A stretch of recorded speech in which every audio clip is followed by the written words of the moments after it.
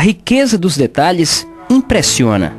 Pequenas peças que demonstram um grande talento, que até pouco tempo estava oculto. Hoje, o artesanato da região tem ganhado mais espaço, mais admiração.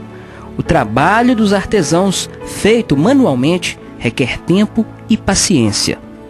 No calçadão cultural, a feira de artesanato tem acontecido com frequência, colocando à mostra toda a riqueza cultural do nosso vale.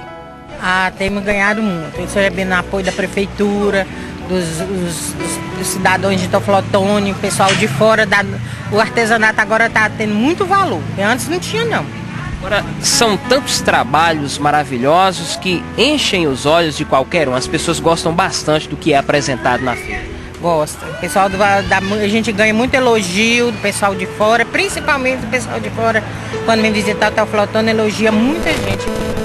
Essa feira de artesanato, ela acontece com frequência. Qual o tempo em que ela acontece aqui no Calçadão Cultural Centro de Teoflotone? No Calçadão Cultural acontece de 15 em 15 dias, dois dias na semana. E temos as feiras especiais, né? Que é dia das mães, dia dos namorados, Natal, que a gente fica na praça. Esses bordados aqui são feitos pela senhora mesmo. Há quanto tempo já é, a senhora realiza esse trabalho e com quem que aprendeu? Aprendi com minha avó. Né, o tempo da vovó, tanto a gente está resgatando o tempo dos antigos mesmo. O tempo do rococó, bordado à mão, richelieu. Agora, quanto tempo para estar tá fazendo um pano de prato desse, um bordado no pano de prato, aliás? Há um dia e meio, dois dias, depende do risco.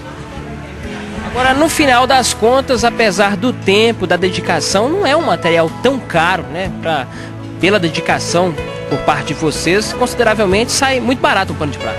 Sai a 20 reais cada pano de prato, mas o que fica caro pra gente às vezes é até o viamento, né? Que a gente às vezes não acha que na cidade tem um pra fora, aí fica um pouquinho salgado.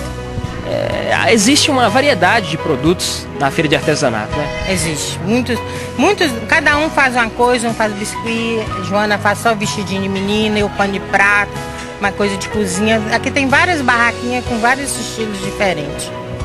A feira de artesanato é realizada no calçadão cultural próximo à Câmara Municipal de Vereadores de Teoflotone.